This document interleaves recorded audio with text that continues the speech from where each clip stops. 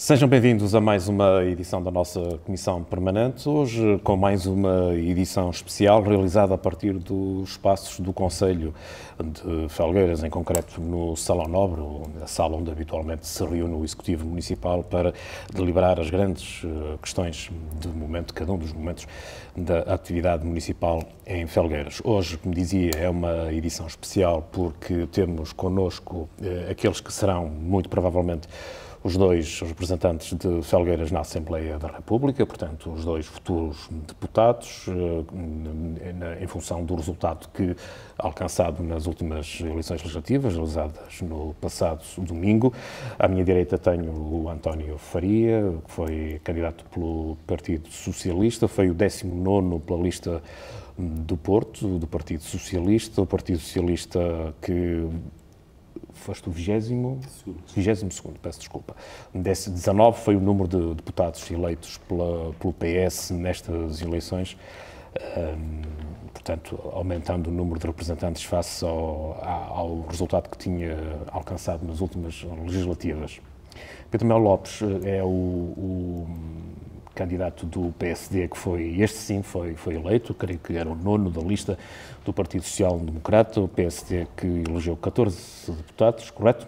Sim, sim. Portanto, está eleito, aguarda só que hum, seja chamado para tomar posse como deputado nesta legislatura, legislatura que decorre das eleições realizadas no passado domingo. O António Faria, que, eh, tendo sido o 21 primeiro, eh, Segundo, tem todas as condições para uh, assumir o lugar de deputado, partindo do princípio que o Partido Socialista, formando governo, de resto, António Costa foi já convidado pelo Presidente da República a formar governo, é muito provável que haja um significativo de elementos do Partido Socialista que ocupavam os primeiros lugares da lista do Partido Socialista, que venham a ser chamados para integrar o governo ou quaisquer outros cargos uh, durante a próxima legislativa, abrindo assim lugar para a entrada de mais um conjunto de elementos que integravam a lista, nomeadamente António Faria, que está entre os primeiros, eh, eh, portanto, com essa possibilidade de assumir um lugar no Parlamento. Damos praticamente por adquirido que isso vai acontecer a breve trecho. Além dos nossos futuros deputados, temos obviamente connosco o nosso painel, painel de excelência, eh, como habitualmente o Leonel, o Leonel Costa, o, Luís Paulo e o Helder Quintela. Muito obrigado pela, pela vossa presença mais uma vez, hoje num lugar muito especial para todos nós, felgueirenses. Vamos então começar uh, o programa. Hoje uh, o tema uh, é o tema único, como não poderia deixar de ser. Vamos discutir, vamos refletir, analisar os resultados das últimas eleições que ditaram uma surpreendente, digo eu, maioria absoluta do Partido Socialista, uma confortável maioria absoluta do Partido Socialista, o que faz prever um período de estabilidade para os próximos quatro anos e mais alguns meses, que é aquilo que está previsto neste mandato, nesta legislatura. Vamos começar por ouvir a opinião do grande vencedor da noite, António Faria, do Partido Socialista. António Faria, antes de mais, parabéns em primeiro lugar, parabéns ao Partido Socialista pelo extraordinário resultado alcançado e parabéns também à, à tua candidatura, com, com, enfim, com o resultado do PS, está praticamente garantido que vais eh, assumir um lugar no, na Assembleia da República para defender, penso eu, ser esse o, teu objetivo, de resto tiveste a oportunidade já de, de nos dizer na, na, entrevista que nos concedeste, obviamente defender os interesses de Felgueiras e também da, desta região do Tâmega e Sousa, mas antes disso, António Faria, eh, resultado, eh, presumo que também te surpreendeu. Eh, não a vitória do Partido Socialista, que eh, dizia-se que o resultado, em função das sondagens que eram conhecidas, tanto podia cair para um lado como para o outro, portanto, caiu para o Partido Socialista. O que ninguém previu é, de facto, uma vitória tão esmagadora, uma vantagem tão significativa do, do Partido Socialista, também aqui no Distrito de Porto. Ora bem, o resultado em si surpreendeu, pela questão da maioria absoluta, não surpreendeu tanto, porque eu fui dizendo ao longo da campanha que as sondagens que estavam a ser vinculadas na comunicação social não, não, transmiti, não, não a realidade daquilo que eu ia vendo na rua e ia sentindo na rua pelas pessoas. Eu tive essas conversas com, com algumas pessoas e ia dizendo que, e nós também tínhamos as nossas sondagens internas do Partido Socialista a nível do Largo do Rato, diárias, eh, e as sondagens andavam sempre na volta dos 39%, 38%, 39%, contra 32%, 33% do PS. Portanto, nunca houve uma sondagem que nos desse muito menos do que eh, essa margem. Portanto, eu nunca me acreditei muito nas sondagens que saíram na comunicação social. Não sei quem foi o responsável por elas. Se foi o PS teve mérito, se foi o PSD não teve mérito nenhum. Não sei quem é que teve quem é que, teve, quem é que os encomendou. O que é certo é que nós não tínhamos essa sensação e eu também não sentia isso na. O Partido Socialista, geralmente os aparelhos dos partidos têm os seus estudos Sim, próprios. Uh, o que é que dizia? Agora creio que isso já se pode ser mais ou menos revelado. O que é que vos, o que é que vos era transmitido pelo aparelho do partido? que, que havia. Eu, eu, cheguei a falar com pessoas, nomeadamente do PSD, pessoas próximas do aparelho, que, que, indicavam de facto que havia um equilíbrio. Também eles tinham esses, não, esses indicadores. Nunca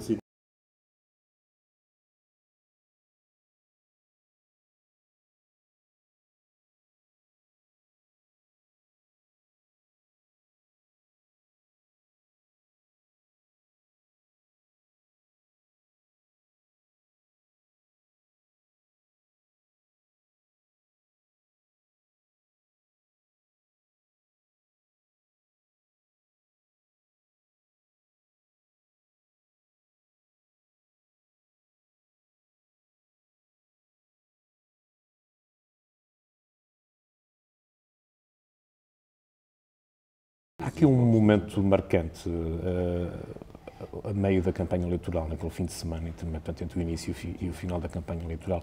Percebe-se que há aqui um momento de viragem. É uma primeira semana que aparentemente correu muito bem ao PST. Eh, Sentia-se inclusive até algum desânimo em algumas hostes socialistas. Eu tenho muitos, muitos amigos da área do Partido Socialista com quem ia falando, mas a partir de, de um determinado momento nota-se inclusive uma, alguma, também algum ajustamento em termos de discurso percebe-se que o Partido Socialista ganha aqui um novo O Partido Socialista estava preparado, para estava, estava preparado para fazer uma campanha uh, mais calma, mais tranquila, sem tanta rua. Uh, a partir do momento em que viu que o PSD estava a sair à rua, sentiu que para mostrar força tinha que sair também.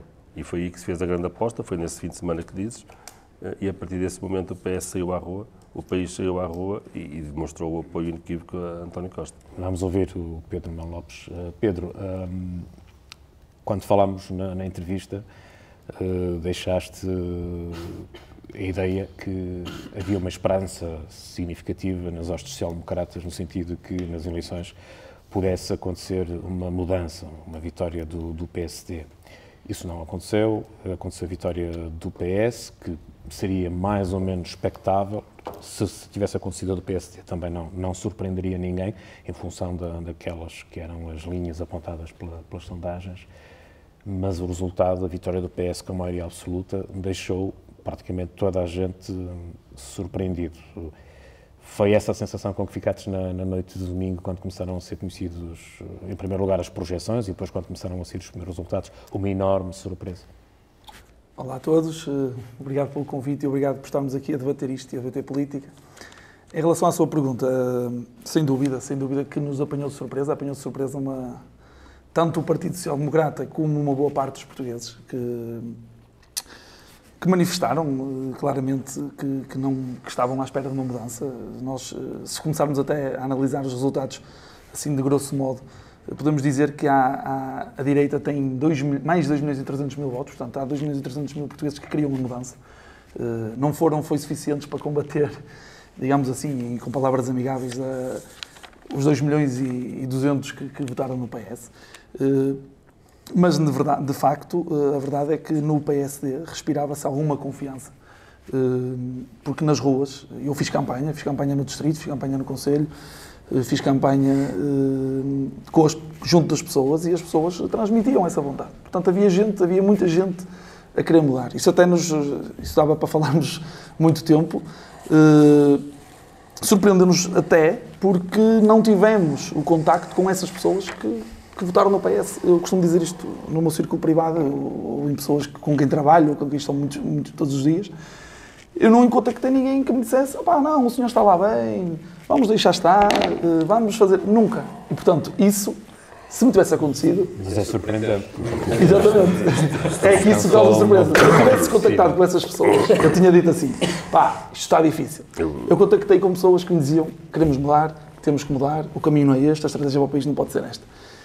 Também posso estar errado no contacto, nos contactos que fiz. Quer dizer, eu, no, no, não é? Seguramente. E isso também será alvo de estudo. Uma reunião conselhia. Não, não, não. Isso também será alvo. Não, não. Fiz campanha por todo o Conselho, com todo tipo de pessoas, com todas as faixas etárias e com todos os estratos sociais. daí ser estranho, Pedro. Agora, o que é estranho é isso, é que não, não havia essa correspondência negativa em relação à nossa candidatura. Havia sempre muita, muita, muita aceitação E as havia, de pessoas, as pessoas eh, aceitavam os manifestos, queriam falar, queriam conhecer eh, e nunca me apareceu. Portanto, quando no noite eleitoral nós vemos, eh, quer no Conselho de Felgueiras, quer no Distrito de Porto, quer nos distritos de todo o país, portanto, o país inteiro, há uma desmobilização de voto na esquerda para votar em António Costa.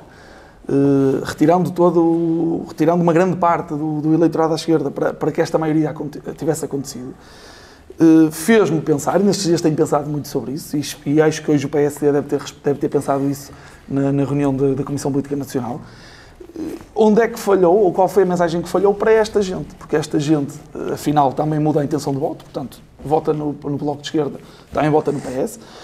E o PSD fez uma campanha nítida e clara para apanhar os votos ao centro, ou seja, aquelas pessoas que um, votam no PS ou votam no PSD porque acham que está, está mal e vamos mudar o, o voto. E, portanto, nós fizemos campanha para essas, com uma estratégia clara. O, o programa eleitoral do, do PSD é claro como a água. O Rui Rio foi muito claro nas entrevistas, apesar de ter uma comunicação social, não vou dizer tendenciosa, mas que lhe dificultava a vida em, algumas, em alguns aspectos, porque, para, para lhe dar aqui um exemplo, a questão do Chega, eh, o Rio, cada vez que falava, a pessoa perguntava, olha, e o Chega? Quer dizer, isso era objetivamente para privilegiar o Partido Socialista, porque o Rui Rio foi claro como a água a dizer, com o Chega não ter ministros, se o Chega quiser viabilizar o nosso governo, viabiliza. Mas eles perguntavam, e o Chega? Portanto, era sempre a mesma, a mesma conversa. Eh, ao mesmo tempo, o Rio foi claro, fez uma campanha assertiva, assertiva, falou às empresas o que é que era para as empresas, falou para as pessoas o que é que era para as pessoas, e viu-se a combater com o Partido Socialista que fez uma campanha que, na minha opinião, não foi uma campanha positiva nem produtiva. Porquê? O Partido Socialista eh, pegou em três ou quatro coisas que, eram, que não eram verdade. A primeira, crucificou o Rui Rio porque era contra o, o aumento do salário mínimo nacional. Não era. Rio está no programa eleitoral, isso escrito claramente, só que não chegou às pessoas, eh, efetivamente, temos que, que dar a mão à palmatória, está claramente que o salário mínimo acompanharia a taxa de Se inflação. concluas, ainda vamos ter mais oportunidade para Eu só estava a concluir. pormenor. Não, não, era importante desmistificar aqui três ou quatro coisas. Esta é a verdade. Portanto, o, PS, o Partido Socialista pegou nisso, o, salário, somos, o, o, o Rio é contra o salário mínimo. Não era. Eh, o, o- Mas foi uma mensagem que passou. Pronto, exatamente. O, o- o PSD vai privatizar a saúde. Isto está no Facebook do Partido Socialista. Isto é um direito constitucional, a proteção à saúde. Isto não, não se pode privatizar, pode-se privatizar a saúde, mas as pessoas têm acesso à saúde. Portanto, vocês vão pagar a saúde. numa em conversas muito sectoriais. Mas deixe-me agora também é muito fácil. Isso. Privatizar a segurança social, quando nós sabemos que o modelo dela também é assim. Portanto, há três, há três, há três ou quatro aspectos. eh, Mas deixe-me falar, porque se eu fui convidado, vou falar. Desculpe lá. Não, Eh, o senhor, desculpa, o senhor fala quando nós permitimos. Pronto. Aguarda um bocadinho, por favor. Mas é assim, se vai ter mais, O senhor vai ter mais oportunidades para falar. Vocês perguntaram-me os resultados eleitorais. O eu senhor estou a vai ter- comentar o os resultados vai- eleitorais e aquilo que causou, certamente, O esta seu, derrota. o seu futuro colega de Foi mais Parlamento uh, Pronto. já falou, até falou menos. O vai- O senhor vai ter mais oportunidades para falar. Oh, não sabia. Comentar. ouvir. A Leonel disse-me que isto eram 15 minutos para Não, falar. não é, não é. Os senhores, os senhores vão estar connosco no programa Pronto, todo, ok. vão Não, não há problema nenhum. Não há- Comentaremos isso a, a posterior. Vai haver tempo mais do que suficiente para cada um de, de vocês eh, expor os vossos pontos de vista. Vamos ouvir o nosso painel. Vamos começar pelo Luís Paulo. Hoje cabia ao Luís Paulo eh, indicar o tema. Toda a gente percebeu que fazia sentido dedicarmos o programa todo, como se percebeu agora pela intervenção do senhor futuro deputado do PSD, que de facto há aqui pano para mangas. Luís Paulo, hum, também ficaste, obviamente, isso é uma questão absolutamente, incontornável, ficaste surpreendido com, não com a vitória do Partido Socialista, mas com esta vantagem expressiva, maioria absoluta, de resto até uma maioria absoluta bastante confortável. Não, mas nós temos, isso é para mim muito claro. Portanto, eu, eu acho que a vitória do Partido Socialista não pode não ser, e na minha opinião não é surpreendente. A vitória com maioria absoluta é assim surpreendente e, e, e inclusivamente, vários dirigentes do Partido Socialista admitiram isso eh, durante a noite eleitoral, que foi também uma surpresa para eles. Agora, independentemente disso, é uma vitória categórica do Partido Socialista de António Costa. E nós temos que dizer, nós somos analistas, estamos a comentar eh, os resultados e temos que olhar para eles eh, de uma forma muito clara e analítica, concreta. É uma vitória categórica do Partido Socialista. Ahm, terá várias razões, terá certamente várias razões. as sondagens poderão, poderá, poderá ser uma delas, como é lógico, ah, mas eu acho que as sondagens não chegam, e aquele virtuoso empate técnico, o empatão que me chamaram, não chegam para explicar uma maioria absoluta. Isto é a minha opinião muito clara. Terá que haver aqui outras razões, e podemos falar na gestão da pandemia, questões que naturalmente correram menos bem, mas que na minha opinião, na sua generalidade, na generalidade, a gestão da pandemia é, tem uma nota positiva e, portanto, eu acho que isso ajuda também a explicar um bocadinho esta esta maioria absoluta. E há depois também aqui uma razão, um, que eu acho que nós, nós às vezes, quando comentamos política, é engraçado que estamos tão envolvidos um, que depois nos, acho que às vezes nos esquecemos um bocadinho daquilo que as pessoas vão, vão sentir e vão pensando. Eu acho que esta é também um, um, uma vitória em que uma das principais razões é também a estabilidade. Uh, era, eu, eu, eu, eu, quando falava com as pessoas, esta era sempre, claro que há assuntos importantes que se discutem e que se têm que discutir, é, politicamente e durante as campanhas eleitorais. Mas as pessoas eh, falavam sempre nesta ideia de estabilidade, de calma e de, e de que era preciso ter um horizonte uh, de estabilidade de quatro anos, neste caso, onde fosse, preciso, onde, onde fosse possível planear, executar uh, e trabalhar uh, pelo país. E, portanto, eu acho que as sondagens não chegam para explicar esta maioria absoluta, é preciso perceber quais foram as outras razões, e acho que há outras razões, e eu fui colocando aqui algumas em cima da mesa, para ou não, é claramente óbvio é claramente objeto de, de, de, de discussão. Depois, algumas notas positivas, nomeadamente eh, a eleição, por exemplo, eh, de Rui Tavares também, eu queria aqui referir, independentemente do partido em questão, eu acho que o Parlamento merece uma pessoa como Rui Tavares. Uh, dar aqui também uma nota em relação à abstenção. Nós tínhamos 800 eleitores em casa. Tínhamos mais pessoas em casa. 800 mil. 800 mil, sim, desculpa. 800 mil eleitores em casa. Uh, e num contexto uh, vigente que ainda é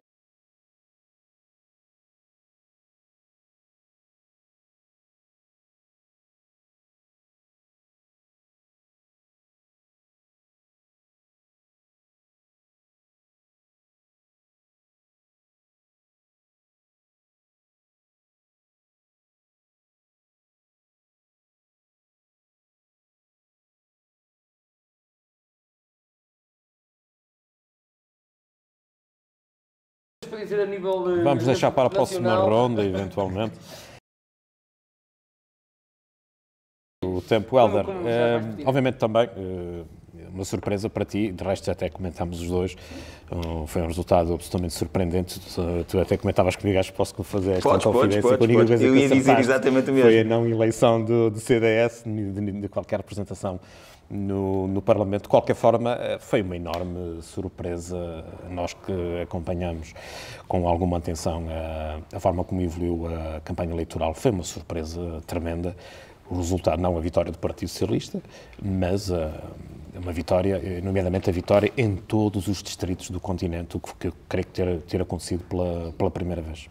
Sim, e, eh, e, aqui em Felgueiras também em todas as freguesias uh, do Conselho. Embora depois, uh, mais à frente, podemos falar um bocadinho sobre a Sim, questão concreta da lixa. Exatamente. Onde o PSD uh, mas, de facto, acho que toda a gente esperava uma noite eleitoral muito longa e, e acabou por ser um anticlímax. Portanto, à meia-noite foi toda a gente para a cama e, e, e, preparada para trabalhar no dia seguinte. Eu acho que às 9, 10 da noite muitas pessoas Sim, já estavam. Mas, pronto, Sobretudo é... aquele pessoal mais, da ala, da ala mais à Sim. direita, não aqueles de extrema-direita, de extrema-direita. Mas... Mas, antes de mais, deixa-me cumprimentar eh, o Pedro Melo Lopes pela eleição, já, já garantida, uh, parabenizar também António Faria uh, pelo resultado conseguido e brevemente teremos também, certamente, a oportunidade de o parabenizar por outros motivos. Uh, mas, de facto, foi um resultado que não era expectável, atendendo a todos os dados que nos foram chegando sobre as sondagens e que nos eram reveladas todos os dias, ou seja, a única sondagem que esteve mais próxima de acertar no resultado foi a sondagem feita antes da campanha, que de facto dava entre 6 a 7, 8 eh, de diferença entre o Partido Socialista e, o, eh, e o PSD. Portanto, em termos de resultados, temos aqui de facto uma confirmação. Acho que, que temos uma confirmação daquilo que que, que, que, que, se esperava relativamente aos outros partidos, relativamente, de facto, a, a, termos uma maioria absoluta não, não era esperado. Aquilo que eu sempre esperei, eh, e que era mais ou menos comumente aceito, era que o Partido Socialista iria ganhar as eleições e certamente teria ali uma garantia de estabilidade com o PSD eh, para o primeiro ou segundo orçamento ou para os dois primeiros orçamentos. Acho que esse era, era um plano mais expectável. Aliás, deixa-me dizer-te que hum, no domingo, eh, quando, quando da, eu acompanhei, como sabem, a, a votação do, do, Presidente da República em, em São de Basto e estávamos uh, um conjunto grande de jornalistas, estávamos à espera do que o Presidente chegasse para fazermos o, a cobertura do, do, momento e quase todos nós eh, apontávamos nesse sentido. Vai haver uma vitória do Partido Socialista, uma vitória mais ou menos apertada e o Partido Social Democrata, inclusive o próprio Presidente de Câmara que estava connosco, a PSD, e o Partido Social Democrata vai viabilizar pelo menos os dois primeiros orçamentos dar aqui algumas condições governativas ao, ao Exatamente, país. eu acho que esse era o cenário mais, é, mais plausível. Depois, relativamente eh, ao Chega, à Iniciativa Liberal, eh, ao CDS, eu sempre disse aqui que o CDS-PP corria o risco de ficar uh, cortado, mas, mas realmente eu acho que este resultado vai permitir uma estabilidade uh, que vai dar os... Uh, que vai dar 10 anos de governação a António Costa. Mais 10. Vai dar um pouco mais de 10, mas basicamente 10 anos de governação a António Costa, que são os 10 anos de Marcelo, coincidentemente são os 10 anos de Marcelo, portanto, o Primeiro-Ministro e o Presidente da República... Curiosamente, primeira... Marcelo Rebelo de Sousa é o único Presidente da República que vai trabalhar com apenas um Primeiro-Ministro. Um Primeiro-Ministro. E, e, portanto, António Costa terá uma oportunidade é uma única. coabitação que até o momento tem sido uma Sim, aliás, até existia a caricatura do Senhor Feliz e do Senhor Contente. Uhum. Portanto, digamos, vamos ver o que é que vai acontecer agora. António Costa, por um lado, tem estabilidade, tem tempo e vai ter dinheiro, portanto, tem aqui uma tempestade perfeita durante os próximos quatro anos. Por outro lado, vamos perceber o que é que Marcelo quer marcar este segundo mandato, porque não vai ter aqui muita, muito espaço para grande intervenção política. E sabemos que Marcelo gosta da intervenção política e gosta também de ser a mão. Vamos falar do, do Presidente Marcelo, que Depois, relativamente assim, numa pincelada. Concluindo. Concluindo só, e, eu acho que hum, foi muito interessante esta semana, até a propósito das sondagens, da comunicação, um debate que aconteceu, hum, penso que na, na CNN, em que esteve presente o Luís Paixão Martins, que é um dos homens da velha guarda da comunicação em Portugal e da comunicação política e que agora até está um pouco retirado, mas ele foi um dos braços direitos da estratégia de comunicação e de sondagens uh, do Partido Socialista. E ele explicou muito bem, ele disse, toda a gente estava a olhar para o lado errado. E nós seguimos isto. E deu vários exemplos. E, de facto, eu acho que o, que o PSD um, teve uma estratégia de posicionamento errada, teve uma estratégia de comunicação errada. As sondagens, quando davam mais apertadas, já se começava a falar em governo, em ministros para um governo. Eu ia falar nisso. Eh, acho que, que, que houve aqui, de facto, muitos erros. É, muitos Houve alguma erros. fanfarronice até, se me permitem alguma... a expressão nomeadamente quando o presidente, o presidente do partido, o PSD, Rui Rio, hum, disse que António, António Costa, Costa devia perder com dignidade.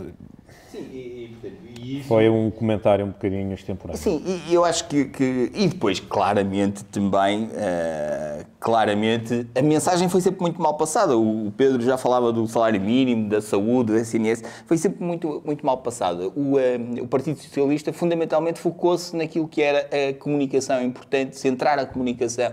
E basta ver que, mesmo no pós-eleições, Salvador Malheiro, que é um dos vice-presidentes e braço direito do, do, de Rui Rio, quando ainda nem sequer se fala em eleições, nem já se fala em pró-candidatos, e ele já está a lançar uma pessoa para, para, para Montenegro. Portanto, ou seja, eu até ouvi esta semana dizer que ele é Salvador, mas é só de nome, não é Salvador do PSD.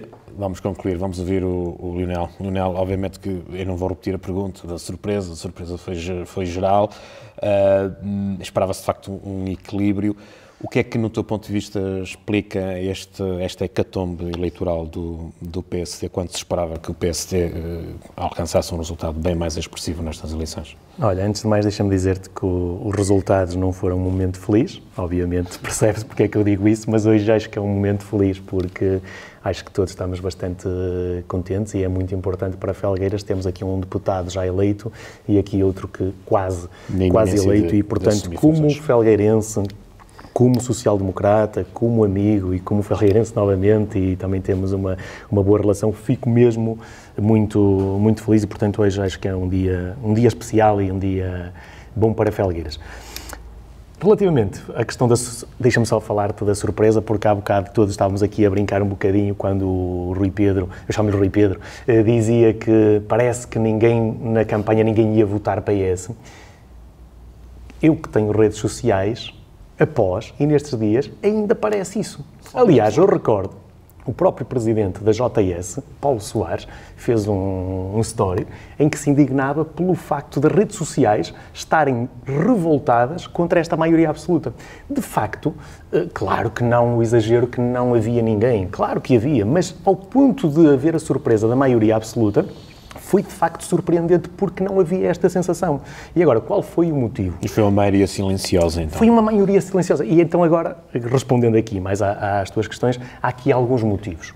A questão das sondagens, há bocado o António Faria falava disto, eu tendo a dizer que foi uma boa estratégia do PS a dar o, uh, o PSD como ganhador ou quase ganhador. De tal forma que a esquerda, de Bloco de Esquerda e PCP, uniu-se e votou, fez o voto útil no PS, no PS. Enquanto que o PSD, que na direita não houve isso. Uh, a direita não se uniu para fazer o voto útil no PSD. E isto porquê? Porque, criticando o líder do meu partido, ele me mostrou ser uma alternativa ao PS. Pelo menos da direita. Pelo menos, exatamente. Aliás, havia momentos que eu acho que ele eh, chegou a falar de partido centro-esquerda. Centro Portanto, eu, eu, não sou direita. Eu, eu acho que isto, eu acho que isto explica um bocadinho. Sim, e esta foi, sondagem... Foi, não foi uma contradição o Rui ter passado parte da campanha que era de centro-esquerda e depois claro, ter lamentado que a direita portanto, não tenha isso, votado nele? Claro que sim, e basta este aspecto. As eleições é para mostrar que, que, perante quem está no poder, que somos e que nos apresentamos como alternativa. E, de facto, as pessoas não sentiram isso. E deixa-me só dizer-te aqui, as sondagens, eu acho que se tivesse que escolher se foi da parte do PSD para uh, puxar pela malta ou da parte do PS para conseguir aquilo que acabou por conseguir, eu diria que foi da parte do PS. Basta ver que o António Costa, no seu discurso à, à comunicação social, a primeira pessoa que ele agradece é ao diretor de campanha. Uh, pronto, isso eu acho que quer dizer alguma coisa. Depois, há aqui outra questão que também acho que ajuda a explicar esta, esta, esta vitória do, do, partido, do Partido Socialista. E diria que, de certa forma, algum populismo. Porque, quer queiramos, quer não, o, uh, o falar-se de salário mínimo de 900 euros por contraposição a dizer-se que Rio Rio era contra o salário mínimo, quer queiramos, quer não, isto entra um bocadinho nas pessoas. Por um lado temos um que quer aumentar muito e outro que se calhar é contra. De mérito do PSD questão, por não ter sabido claro, contrapor. falta de, de estratégia, de argumentário. De facto, Rui Rio, voltando a criticar o meu partido, ele muitas das vezes falhou porque só esteve bem, por exemplo, nos debates com António Costa, nos outros debates, com quase todos os outros partidos, quis estar bem com toda a gente, e não é possível, de facto, isso. Hum, e depois a questão dos quatro dias de, de, de trabalho semanal, quer eu acho que quem, quem pensar um bocadinho não pode levar isto muito, muito, muito a sério. Mas quer queiramos, quer não, a classe operária fica agradada. Eh, tomara eu. eu não sei, eu dei aqui um exemplo como que. A apresentação do, manifesto eleitoral, eu lançou essa ideia, depois acho que essa ideia não. Eu não estou, atenção, eu não estou a dizer que isto é justificação para a vitória. Eu estou a dizer que isto é justificação pode justificar um bocadinho esta maioria absoluta que acho que não era expectável por, eh, por ninguém. Depois, outra surpresa foi a questão do, do CDS. Apesar do Heller dizer que já não era surpresa, é, é, é não tenho pena nenhuma pelo CDS, não, tenho, não tenho pena nenhuma do, do CDS, mas é um bocado ingrato a forma como o método é frio, ao ponto do CDS ter tido mais votos e mais, não só em termos absolutos, mas também em relativos, em termos de percentagem, mais que o PAN e que o LIBRE, mas o PAN e o LIBRE elegeram deputados e eles não. Mas isso é a nível nacional e a nível eleitorais. Exatamente, eu acho que isto leva-nos a repensar. Se permites, desculpa, mesmo em relação a isso, que assim, não, pois já não tenho que dizer isso na minha intervenção a seguir, que é mesmo em relação a isso, e é um apontamento em relação a isso, que é, há, uh, claro que não é claro nem é linear que o partido, os partidos concorrendo em coligação, a soma dos votos seja igual uh, a quando concorrem em coligação. Mas se, se o PS e o CDS tivessem concorrido, tivessem concorrido em coligação, uh, o PS tinha menos 4 deputados e o PSD CDS menos 5, 4, 5 e o PSD CDS mais 5. E, portanto, à partida, o CDS não tinha perdido a representação parlamentar ou conservava alguma da representação parlamentar e o PS não teria tido maioria absoluta. E, portanto, isto aqui até acaba por ser um dado interessante eh, para se discutir até a estratégia de Rui Rio quando eh, nega a coligação com o, o CDS. Não, mas Rui Rio queria a coligação. Queria, mas a direção não, não aceitou. A coligação era importante, era até se fosse no pré-eleitoral. Era, mas era isso, era um dos objetivos, que depois a direção nacional e o Conselho Nacional votaram contra. António Faria, uh, maioria absoluta do Partido Socialista, quatro anos e mais alguns meses uh, de estabilidade, é isso que se espera. Uh, vamos ter um Partido Socialista com uma governação mais ao centro, agora que não está tão condicionado pelo quadro negocial com os partidos de esquerda, mais à esquerda do, do Partido Socialista. É essa a expectativa, que tenhamos um PS a governar mais ao centro? Expectativa é que o PS seja um partido responsável e que dialogue com todos os partidos, todos os partidos, à exceção de um, que já o assumiu, uh, portanto isso não é, não é, é, é questão, é questão de, uma questão de, de, de, honra do partido, dizer que não vai dialogar com o Chega, com todos os outros, espero que os ouça, que dialogue, e que de todos eles possa recolher, obviamente, uh, contributos para um, uma governação estável que o país precisa e que, e que todos nós necessitamos. Eu só, se me for permitido, não sei se é Armindo, gostava também, porque falei pouco no início, porque pensei que era apenas uma pequena abordagem, mas houve aqui questões que foram ditas e que eu acho que deveria também falar um pouco sobre elas. Uh, pronto, uh, nomeadamente sobre a questão de, uh, em 15 mil eleitores de Felgueiras, dizer que na rua não se ouviu ninguém dizer que esperava que o Partido Socialista ganhasse, das duas uma, pronto, com todo o respeito, acho que não foi uma campanha, foi feita caseira, caseira, casa a casa, às casas que sabiam de bater. Porque eu andei nas feiras, eu andei nas fábricas e, e senti, obviamente, as pessoas... Não, mesmas, nós tivemos as mesmas, encontrámos-nos várias vezes. Ouvi, ouvi pessoas, eh, quer dizer, que vinham ter connosco e muitas delas, e contrariamente àquilo que era uma campanha eleitoral, e eu sei porque o Partido Socialista teve uma campanha uh, pobrezinha, tinha papéis para dar, e as pessoas viam que era o papel do, do, do Dr. António Costa e pediam o papel do Dr. António Costa, coisa que não acontece, normalmente não acontecia. Portanto, as pessoas sentia-se que havia pessoas com, com vontade e com que as coisas continuassem. Obviamente também ouvíamos, e eu, eu, ouvia também algumas críticas, como é óbvio, também de pessoas com vontade de mudança, mas maioritariamente ouvia aquelas que queriam que houvesse uma continuidade. Uh, quanto à, questão das redes sociais que foi colocado que o PSD, ainda hoje não acredita, é normal. Uh, quando as pessoas ganham, ficam satisfeitas, não vão para as redes sociais gabar-se daquilo que aconteceu. Aqueles que perderam, normalmente vão rebater. É perfeitamente normal. Nós temos visto isso a nível local, a nível nacional, é exatamente da mesma maneira. Portanto, obviamente, quem ganhou está satisfeito, não, não se quer chatear, o problema está resolvido. Quem está do contra, é normal que vá chamando a atenção mais desses problemas. Agora, não podemos dizer que com o resultado que houve de 2 milhões e uh, 246.637 votos, que não haja, e ainda não estão aqui os de, fora da Europa, que haja pessoas, que, que as pessoas estão descontentes com, com, a, com a vitória de maioria absoluta do Partido Socialista. Não. Mais de metade do país votou em António Costa. E isto não podemos desrespeitar mais de metade do país que votou e dizer que os outros estão todos contentes e o país está descontente. Não. 2 milhões 400 e tal mil votaram no Partido Socialista. 2 milhões e 200.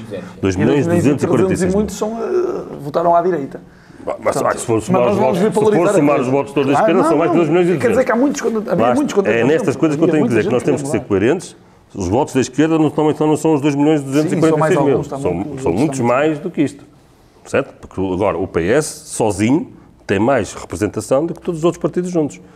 Portanto, os portugueses souberam muito bem aquilo que queriam e a escolha que fizeram. E não podemos agora, nós, só porque perdemos, dizer que não concordamos e que está mal e que está tudo mal. Não, vamos trabalhar em conjunto. O PS e o Dr. António Costa já disse que vai respeitar todos os partidos, à exceção de um, e é isso que nós pretendemos, que os outros partidos também colaborem com o Partido Socialista para bem do país.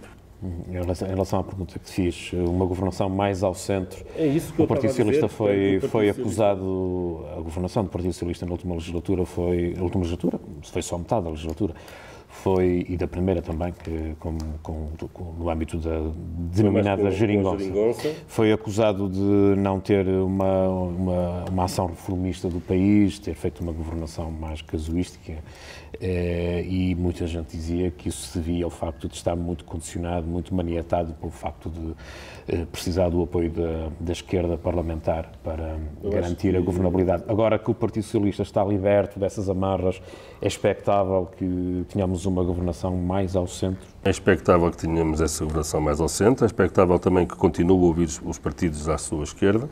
E, aliás, a prova disso mesmo é que, mesmo sem ter formado ainda governo, já disse que no próprio, próximo Orçamento de Estado iria ter medidas também, quer das que foram apresentadas, quer pelo Bloco de Esquerda, quer pelo PCP, e espero que ainda venham a ser contempladas algumas de outros partidos, desde que sejam válidas e que, se encaixem e enquadrem no programa do governo que o Partido Socialista tem, acho que devem ser aceites e enquadradas. E é isso que eu espero do Partido Socialista, um partido responsável, para, juntamente com os outros partidos da oposição, tratarem de um futuro melhor para o nosso país. Não receias que possa, possam acontecer alguns excessos, como aconteceu, nomeadamente, com a maioria, a anterior maioria absoluta do socialista com José Sócrates? Isso temos sempre, mas o próprio Dr. António Costa tem. Eh, eu acho que ele também foi muito claro quando disse que eh, a primeira coisa a fazer relativamente a esta maioria absoluta é retirar o medo que os portugueses têm dessa mesma maioria absoluta, porque ele próprio também sente. Eu, eu, eu não, eu não me ponho na pele dele, mas, mas eu tenho a impressão que ele, na noite eleitoral, era capaz de estar a dizer: opá, parem, não venham mais votos. É? Porque ele próprio deve ter chegado a essa conclusão nessa altura. Porque, mas agora que isso aconteceu, ele próprio assumiu que temos que ter cuidado com as maiorias e quer mostrar aos portugueses que, afinal, é possível governar com a maioria sem cometer esses excessos. Pedro, o que é que se espera deste PSD? Eh, continua a ser o grande partido à direita do, do, Partido Socialista, continua a ter uma, apesar de ter perdido, ainda que marginalmente, alguma representação parlamentar, continua a ser a maior bancada parlamentar. Não perdeu? Aumentou. O PSD ainda aumentou em termos de deputados. Não, não, perdeu. Não, perdeu, perdeu. Isso não sei no geral. Perdeu, no geral perdeu. Ganhou 70 e poucos mil votos. Perde 4, perde 4, perde 4. votos, mas perdeu deputados. Não perdeu, perdeu. O que é que se espera deste, deste PSD? Espera-se uma, uma atitude de uma, de uma uh, oposição agarrida, esta maioria absoluta do, do Partido Socialista ou uma, ou uma oposição colaborante com António Costa, garantindo uma governação mais ao centro? O que é que, que, que, é que se espera? Eu não sou o Rui Rio, só se o Rui Rio respondia já isso direitinho e, estava resolvido. Eu antes, antes ainda tinha buscar atrás. Dizer aqui ao António Faria, ele estava a dizer que eu, eu disse que estava tudo errado, não disse que estava tudo errado. Até foi o Leonel que, que tocou na questão de que as redes sociais estavam eh, em, em alvoroço no dia a seguir. Para mim está tudo muito bem. O, o, o país foi claro houve uma demandada de votos da esquerda no PS e ganhou, e, e eu até acho que, que, para o país, agora, que está, está encontrada a solução, que, que a coisa seja responsável e, e, e, positiva, porque nós, temos, nós precisamos de, de continuar uh, esta caminhada. Agora, eu estava também nessa, quando fui interrompido, e lamento ter, ter querido falar, e eu ainda estou aqui cheio de energia para ir para o Parlamento, tanto quero falar. Mas no Parlamento vai haver. Vai haver tempo. Mas por isso é que tenho que aproveitar agora. Eu estava a dizer que houve. Que houve, que houve, que houve algumas, que houve algumas coisas que condicionaram, pá, contra-informação, estratégia, capacidade de controlar a comunicação, o que seja o que for, que condicionaram muita a mensagem do PC, condicionaram. E daí essa, essa indicação daquilo que foi isso não é ataque a ninguém, é ataque à, à, comunicação política, porque nós aqui, os dois, vamos ser deputados de Felgueiras, cada um por um partido, mas o objetivo é comum e, portanto, depois de, de, se contar os votos, o objetivo é fazer política e melhorar a vida das pessoas. E esse aqui ninguém nos vai tocar, ninguém nos vai impedir de fazer isso. Em relação à pergunta, por isso é que eu não sou o Rui. O Rui já lhe tinha respondido à pergunta. Pois o pessoal diz que ele responde muito rápido. Se calhar tinha respondido em alemão. Em mal. Em alemão. Eu em alemão não vou responder. Dizem, Relação à pergunta. Eu acho que o PSD... Uh, Agora vai ter um processo interno que, que, a resolver, mas vai ser o partido responsável que foi. Surpreendeu, foi surpreendente o discurso de Rui o discurso de derrota. Uh, acabou por surpreender ele não ter assumido de forma categórica que, que se vai embora.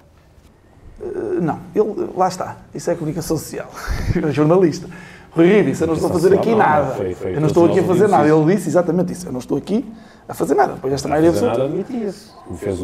Vamos lá ver. Isso também é muito importante. Agora, demitia-se e não vamos ter que organizar uma direção parlamentar, não vamos ter que, que, que, organizar o partido, vamos fazer eleições agora, houve eleições há um mês, vamos fazer outras eleições, custam dinheiro ao partido, quer dizer, há uma responsabilidade. O Rui Rio nisso é responsável. Temos que lhe tirar o. E já deixou dizer, no ar a possibilidade de ficar o mandato todo, o mandato não, partidário. não. Eu, eu, eu, eu tenho. Eu não, não falei com o Rui Rio isto, só enviei uma mensagem eh, a, dar, a dar a minha nota daquilo que foram as eleições, eh, mas falei com pessoas próximas. Rui Rio é uma pessoa responsável. Há- se sair, ou há de sair, e quer sair, parece que é essa a vontade dele, quer sair. Vai tomar posse como deputado, mas certamente depois de ser encontrado outro líder sairá. Isso aí eu acho que não deve haver dúvidas em relação a isso, até porque o Rui não é uma pessoa agarrada à política, agarrada a lugares, não precisa da política para, para, para viver e, portanto, facilmente se desprenderá disso. Agora, do PSD podem esperar, e o PS já sabe disso, pode esperar um partido como tem sido, um partido responsável, que acho que se calhar com uma nova liderança pode ser mais acutilante na oposição. Rui Rio não tinha esse carisma, não tinha essa vontade, tinha, essa- tinha a estratégia de ser moderado, até se calhar moderado demais. Isso, por exemplo, o Lionel eh, gosta menos, eu gosto um bocadinho mais um bocadinho, mas há pessoas que gostam muito, há pessoas que não gostam nada. Eh, Ele foi sempre assim, era a estratégia dele, falhamos, falhou. O Rui Rio, houve aqui há dias uma pessoa que me dizia assim: o Rui Rio, em determinadas circunstâncias, eu vou dizer isto também para provocar aqui os dois social-democratas, em determinadas circunstâncias e em determinados momentos parecia um pouco o Vítor Vasconcelos. Dizia coisas que se percebia que não eram muito populares. E o Rui Rio fê-lo várias vezes. Mas que o Rio dizia aquilo que acreditava. E que acredita. Mas E ele é um político que faz isso. Eu vou-lhe dar um exemplo. Vou dar um exemplo se ainda tivermos tempo. Rui Rio, quando foi Presidente da Câmara do Porto, ganhou numas condi nas condições que ganhou, havia divisão de votos com o PS, ok, ganhou. E no primeiro mandato dele, por, por causa de uma questão eh, burocrática que Clube do Porto, que tem a ver com, com o envolvimento da Câmara, zanga-se com o Pinto da Costa. Manda abaixo o, o, o Aleixo. Eh, autoriza obras no centro para dinamizar a, a Baixa. É contestado em todo lado. Chega ao final do mandato e diz às pessoas próximas: Fiz aquilo que acreditava que era bom para a cidade. Se calhar vou perder as eleições, mas meti-me com os, os gays todos. E ganhou com a maioria. Portanto, Rui Rio faz o que acredita. É assim que ele está na política. É- é- esta, esta foi a, a estratégia que ele teve teve para, para, para, para o PSD. Esta estratégia não ganhou as eleições. Teve mais votos, nós já podemos dizer, "Ah, a nossa vitória moral é essa, tivemos mais votos. Não foram 70 mil, foram 70, mil, 70 e poucos mil em Portugal, foram com os da Madeira dos Açores mais, 80, mais 70, pronto, alguns são do CDS, efetivamente, mas no geral são mais 100 mil, 150 mil. Portanto, houve mais gente a querer Rui Rio. Em Felgueiras também houve mais gente a querer Rui Rio, portanto também subimos a votação, apesar de haver mais gente a querer António Costa. E, portanto, esta foi a estratégia que não, não conseguiu vencer as eleições. O PSD tem que ser um partido responsável da oposição, de diálogo. O António Faria vai, vai lá estar a defender o PS, eu vou estar a defender o PSD, mas, acima de tudo, com, com, com causas. Eu Então, gosto de defender o país. o país, exatamente. Mas, mas de um lado um partido e do outro, mas o objetivo é esse, exatamente. Já me tiraste as palavras da boca. É para defender o país e com diálogo. Portanto, o PSD, aliás, eu acho que, e já disse isto, o PS, com maioria, vai ter políticas eh, diferentes daquilo que teve eh, quando estava agarrado à esquerda e, portanto, o PS vai se assemelhar muito mais. Há muita gente no PS que é social-democrata, de ideologia, portanto, é uma ideologia fácil de, se identificar. Portanto, o PS vai ter políticas diferentes. Eu espero que sejam positivas para o país. Naquelas que nós não concordarmos, eh, vamos fazer uma oposição. Espero que, se calhar, o novo líder faça uma oposição diferente para cativar os votos daquelas pessoas que eu disse que não encontrei na rua e que não sabemos muito bem como é que elas pensam, mas nós temos que fazer passar essa mensagem essa. 18 anos e tem cartão de eleitor. Diz? Tem mais de 18 anos e cartão de eleitor. Pronto, mas nós temos que chegar a ela. Concluindo, Luís Paulo, é agora chegado o momento em que cada um dos nossos elementos de- do painel vai vestir as vestes de jornalista e vai fazer as perguntas. Uma pergunta para cada um dos eh, candidatos. Eh, Que há candidatos, já foram de resto, um deles já eleito e o outro já na iminência também de, de ir assumir funções como deputado. Antes de mais, eu ainda não tinha feito, porque estamos aqui no momento mais de análise aos resultados eleitorais, mas dar os parabéns, naturalmente, quer ao Pedro Melo Lopes, que está eleito e que, portanto, será eh, deputado da Assembleia da República, e eh, a António Faria, pelo resultado e também porque está à porta, acreditamos nós, que de, de, de ser também deputado da Assembleia da República, e, e, portanto, são duas pessoas eh, que, estão lá, que estarão lá a representar e a defender o país, mas também acredito e fomos discutindo isso também em off, a representar e a defender o nosso município, a nossa região e, portanto, parabéns para eles. Eh, a pergunta, a pergunta é uma pergunta genérica. É, qual é o principal uh, objetivo, a ambição uh, para, para como, como, como, como eleitos, ou que o António Faria ainda aporta, mas acredito que sim, e como eleitos. Já tenho um pai, já. também acho que eu também acho que eu só estou aqui a tentar cumprir os timings, os deadlines. Uh, mas, mas sim, qual é que é a principal ambição, o principal objetivo, a principal reivindicação uh, como, como eleitos na Assembleia da República, quer para o contexto do país, da região, do município, qual é que é a principal, o principal objetivo? Uh, Maria, primeiro a responder, por favor. Ora bem, em primeiro lugar, a primeira, a primeira, a primeira ambição, ambição objetivo. é estar lá. E isso ainda tem que esperar, obviamente, embora vá à tomada de posse, Eu já como. Mas, mas, de qualquer forma posso ter que sair passado um dia ou dois e depois voltar a passar esses mesmos dois ou três dias, não é? De qualquer forma, a primeira ambição é estar lá. A segunda ambição é, em primeiro lugar, aprender, porque uh, eu vou entrar de novo. Evidentemente que temos aquelas, aquelas que são as nossas. em casa? Tenho, mas os tempos também já são outros. E também já falei com ele sobre isso, já fui falando com ele sobre isso, já me foi dando algumas ideias. A primeira foi ter calma e arranjar um hotelzinho para os primeiros dias e depois pensar no resto. Foi logo.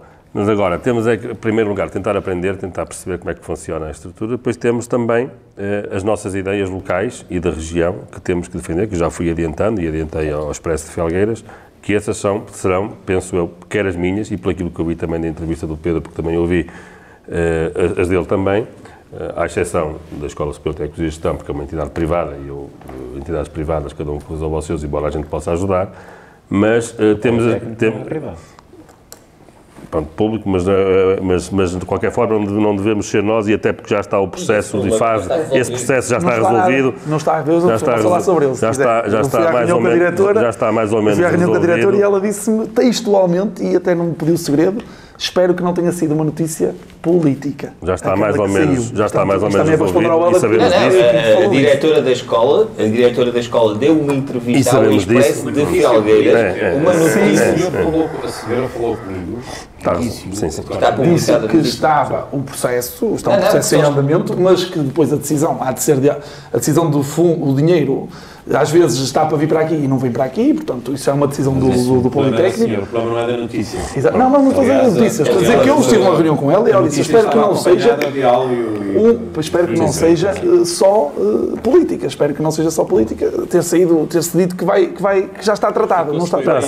Houve, houve, não, não, não, não estou a dizer que a culpa Houve uma questão, que uma questão de situações que teve que ser ultrapassadas e as pessoas sabem disso, a questão do próprio, a questão do próprio PDM, a questão, portanto, houve várias situações que tiveram que ser alteradas e, e concluídas, foram, portanto, espero que isso obviamente venha até porque temos Isso a é perspectiva de ter mais mil alunos a, a, a, a estudar a estudar na, no Politécnico, portanto isso é que é importante, é mais mil alunos que virão para Fialgueiras para poder frequentar o ensino superior uh, e, e, temos é que lutar por ter outro ensino superior para além deste e não apenas este. Agora, acho que aquilo que me, que me liga, Luís Paulo, que, que pelo menos a mim que me preocupa mais, é nesta primeira fase tentar aprender e ver como é que funciona também a estrutura porque, e, e, quais são as comissões que nos são atribuídas também, porque também ainda não sabemos. E depois, aquelas preocupações que temos são aqueles temas que foram identificados ao Expresso de Felgueiras e que eu acho que aí em conjunto teremos que trabalhar para que Felgueiras seja, seja uh, obviamente, reconhecida e a nossa região, que também tem problemas comuns, para que possamos todos os dois em conjunto puxar a brasa à nossa sardinha. E deixem-me só dizer que, pela primeira vez, uh, a região do Tâmega e Sousa está muito bem representada nas listas do Partido Socialista. E pela primeira vez, em Felgueiras também está. E pela primeira vez também em Felgueiras temos dois deputados. Pegando nisto posso responder, quer dizer, isto é uma vitória. Ganhou, ganhou o PS mas, e perdeu o PST, mas no fim ganhamos, ganhamos Felgueiras, que vamos ter um, já vamos ter dois, portanto vamos ter dois deputados e isso é, é, é, diferente do normal, portanto espero que também se reflita depois na diferença de tratamento que Felgueiras tem tido no que toca a retornos uh, do Poder Central. Uh, a minha grande ambição, e se isso, isso, isso depende de mim, ou depende do António Costa, ou depende do Ministro, ou vai depender do, do diretor do Politécnico, é que aquilo tenha um edifício. Porque se aquilo tiver um edifício novo, eh, vamos ter os tais mais mil alunos, vamos ter mais uh, jovens a estudar aqui, gente a vir para cá, e nós queremos, acho que o Nuno Fonseca e os partidos políticos em Felgueiras querem mais gente em Felgueiras, mais, mais massa crítica, mais jovens a cá viver, mais jovens aqui a passar. E, portanto, essa, essa eu acho que é a principal luta, aquela luta, porque até como diz o Helder, eh, quer dizer, já está. Eu sei que está, mas, mas o que me disse a diretora é que pode ter sido. político. Como nunca esteve. Exatamente. Quer dizer, é vamos lá ver, vamos lá ver. Se alguém de cima lhe disse agora o dinheiro que vem é para isso, ela disse agora é para isso. Mas até vir, até começar as obras, nós quando virmos dizemos, opá, já está, e agora batemos todos palmas. Queremos que esteja, porque isso é fundamental. Para responder a essa parte, acho que é fundamental. Já, já parabenizei aqui o António, já parabenizei Felgueiras porque ganhou duas representações parlamentares. E acho que é esse o grande objetivo. Depois podemos discutir mais comboio, menos comboio, mais variante, menos variante, mas isso vamos batalhar os dois por isso. E acho que no final desta legislatura, até o António tem essa responsabilidade, portanto, ele vai estar mais perto de quem governa para chatear e eu voltar a chatear a seguir. Portanto, vamos conseguir. Helder, é a tua vez de fazer uh, as perguntas aos nossos futuros deputados. Já lá vou, mas em 30 segundos não posso deixar de fazer três comentários. Em 30 segundos, muito rápido. Não, não, não, esse é muito. A primeira coisa é que Rui Rio precisa de falar muito para, ser, para dizer alguma coisa, e isso claramente é uma antítese e cai nos erros. Caiu, e o Pedro Melo Lopes caiu no mesmo, porque uh, tentou comparar os 78 mil com os mais de 400 mil votos que o PS teve. É assim, um teve mais 78 mil, o outro conseguiu captar mais 400 mil. Isto significa isso. E depois, e depois há uma outra coisa também que nós e que me custa muito, que é os mitos urbanos de que a esquerda controla a comunicação social, portanto que os jornalistas são todos de esquerda, eh, que eh, a esquerda controla a educação, ou seja, controla os professores e controla tudo aquilo que os professores fazem, e a outra que todos os artistas também que estão ligados à cultura são de esquerda. Isso são não, isso é puramente mitos urbanos eu que... Eu disse, eu disse que perguntava se coligações com o Chega, e ele respondeu 20 vezes. Não, o, o é Pedro, o Pedro, aquilo que, o Pedro aquilo que disse é que a comunicação social estava controlada. Pronto, isso foi mas, eh, eh, mas pronto, mas eh, eu vou entrar em duas questões mais políticas. Primeiro, Pedro. Uh, o, Pedro o, o, Pedro foi escolhido uh, pela liderança do Rui Rio, com um presidente, uh, com um vice-presidente forte como Salvador Malheiro, e agora a bancada parlamentar vai ter sido escolhida por Rui Rio, mas a verdade é que vai haver um novo líder que há de, muito provavelmente, reposicionar o posicionamento do partido. Como é que vai ser? Vai ser interessante. É, já posso responder? Vai ser interessante, porque olha, nós eh, neste, nas causas públicas estamos.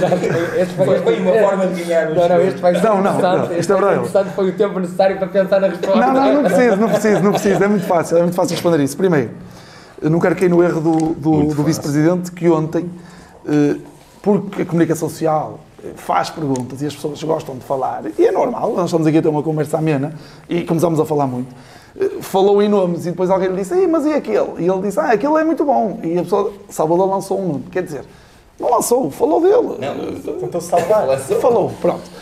Se vem uma direção nova. Tem que pôr a máquina dele a funcionar. Se vem uma direção nova, nós vamos, nós vamos trabalhar em conjunto com a direção nova. Agora, cada um dos deputados representa uma forma, uma forma de pensar, reforma a sua forma de pensar. Há uns que gostam mais de Rui Rio, outros gostam menos, outros gostam mais da estratégia que ele, que ele usava, outros são mais à direita. Não, outros... Rui Rio fez uma purga. Não, não fez uma purga. Isso, isso também é um mito não, ano. Não é um mito. Dizer, basta, na minha lista do Porto, na lista do Porto, na lista do Porto tem várias pessoas que não apoiaram o Rio. Na lista, do Porto, na lista de Lisboa igual, que entraram para deputados. O líder da JSC foi eleito deputado e não apoiou o Rui Rio. Há, há, muito, há, há, muitos, há muita gente lá que não é uh, rioísta, como, como se costuma dizer. Portanto, e isso vai ser a favor da nova direção. A nova direção tem que chegar lá e reposicionar as pessoas, as pessoas vão ter que, que estar. Quem estiver. Eu acho que isso é um, um problema que o partido vai resolver internamente e muito bem. Da última vez que isso aconteceu, quando o Rui Rio entrou, causou muitos dissabores. O Leonel apanhou essa, essa fase, apanhaste a fase do Rui Rio entrar.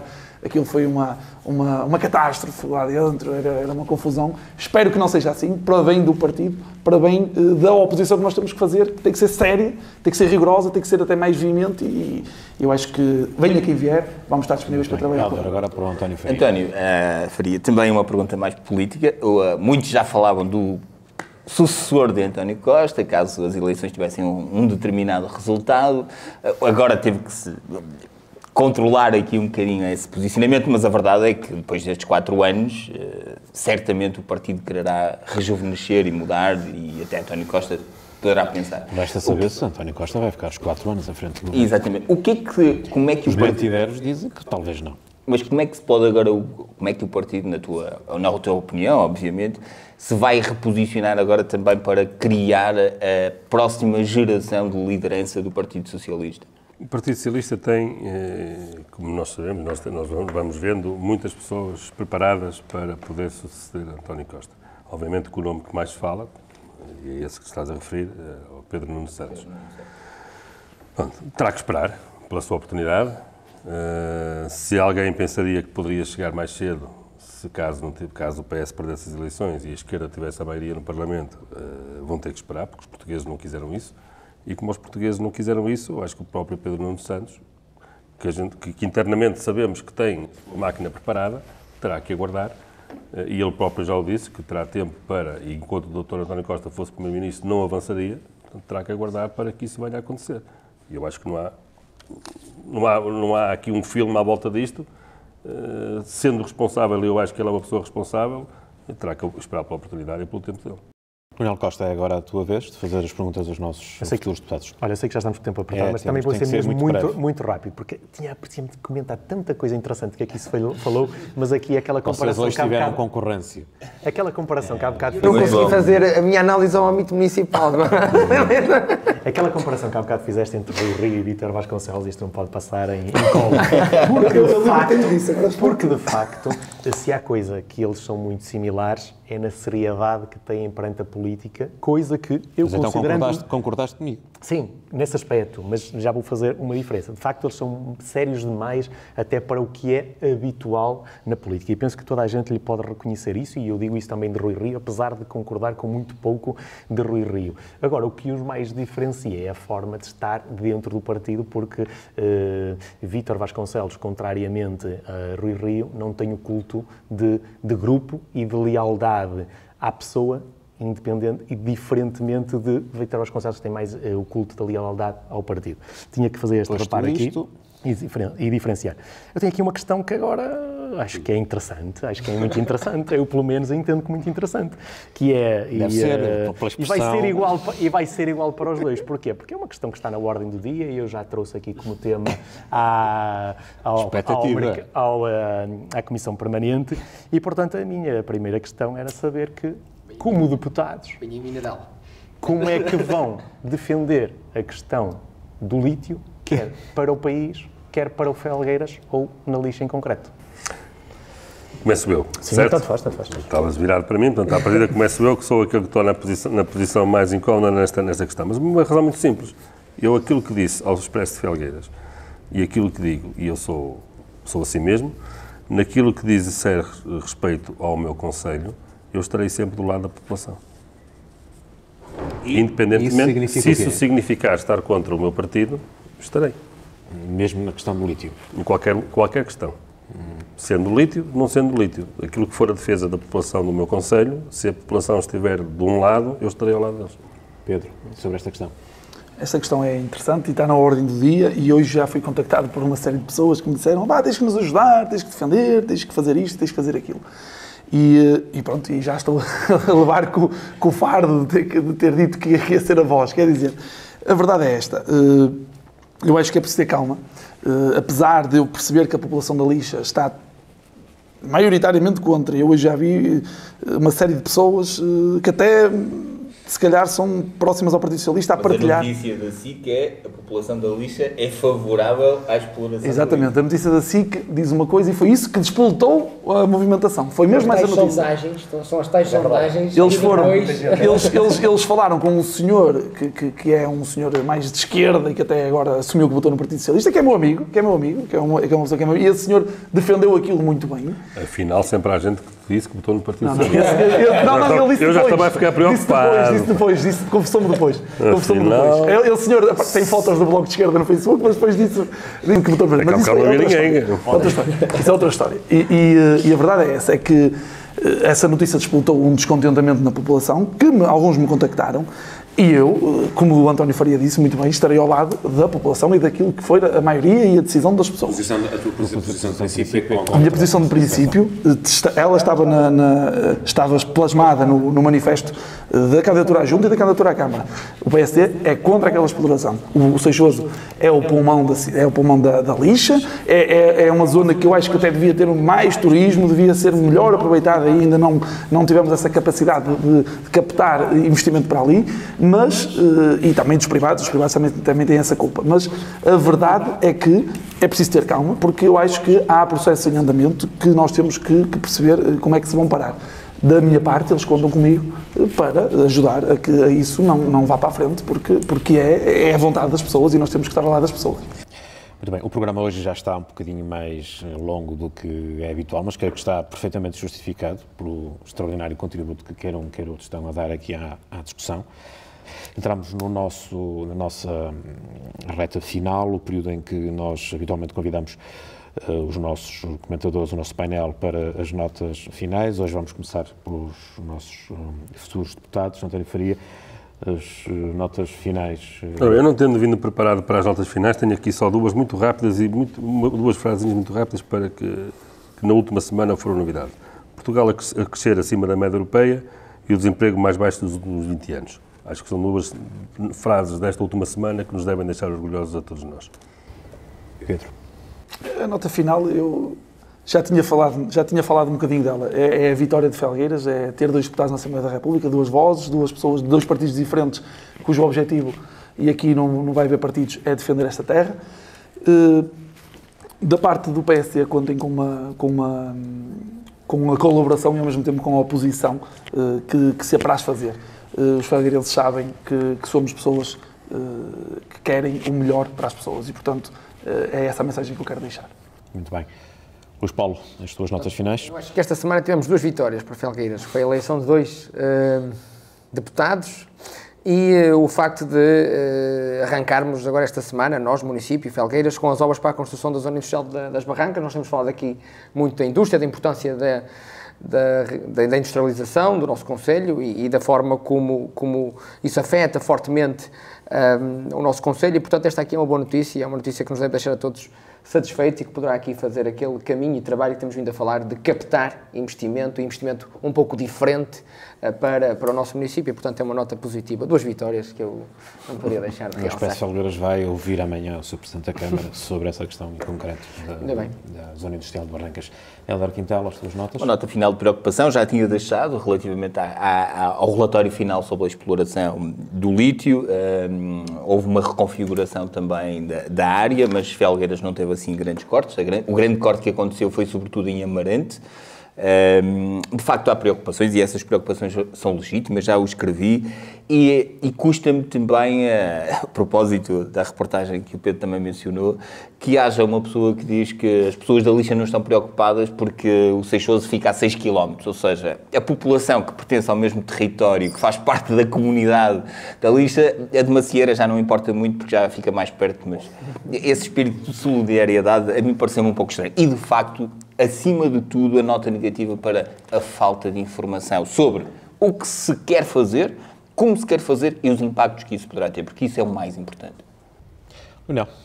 Duas notas, concluir o programa. Duas notas. Uma positiva, que é os parabéns ao professor Campos por ter sido recentemente eleito como presidente da mesa da Comissão Intermunicipal de Tâmega e Sousa numa lista de consenso e unanimidade na qual eu próprio, em representação do PSD, também fui eh, proponente. Portanto, fica aqui a nota dos parabéns. Depois, vou repetir aqui a questão do lítio, mas noutro sentido, e quase fazendo um repto aqui ao Armindo, que já avançou que amanhã vai eh, falar com o Sr. Presidente da Câmara sobre a questão da zona industrial de Barrancas, era também importante, não me querendo digerir no teu trabalho, mas percebes a jeito do comentário, também percebermos e ouvirmos o Sr. Presidente da Câmara sobre esta questão do lítio, porque eu penso que até hoje pouco sabemos da parte do poder político. A única coisa que tivemos foi um parecer técnico que justificou uh, a decisão tomada pela, pela, pela Câmara Municipal, que aceitou a análise da, da situação, que agora a situação é positiva e temos em risco a questão da prospecção. Portanto, acho que era importante percebermos o que é que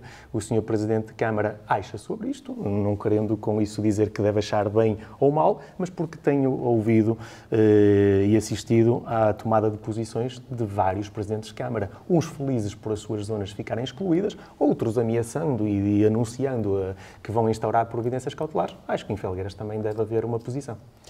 Só mesmo para comentar aquilo que disseste, já foi, já foi pedido um, uma, uma declaração, uma posição ao Sr. Presidente da Câmara, está aqui de resto chefe de gabinete ainda. do Presidente da Câmara, ainda, que pode confirmar isso. Portanto, uh, estamos a aguardar uma, uma posição da, da Câmara Municipal de Felgueiras sobre, sobre essa referência, essa situação da, da prospecção de lítio nomeadamente na zona de Sachoso. E estamos no final do, do, nosso programa. Agradeço ao António Faria e ao nosso, este sim, já deputado, praticamente, falta só mesmo tomar posse, Pedro Melo Lopes. Podemos ir de boleia até vamos. se, comboio. Comboio, tá. Comboio. E quem sabe um dia o comboio chega a Félix. Quem sabe, quiçá, quiçá. Muito obrigado a todos que nos acompanharam ao longo dos últimos minutos. Foi uma oportunidade, creio que, interessante de ouvirmos um, de viva voz os nossos futuros deputados, deputados uh, eleitos pelo Distrito de Porto, que vão, obviamente, defender os interesses de Felgueiras e da região do Tâmega e Sousa. Nós vamos voltar com mais assuntos, com mais reflexão, com mais uh, análise na próxima semana. Agradecemos aqueles que nos ouviram e desejamos a todos a continuação de um bom fim de semana.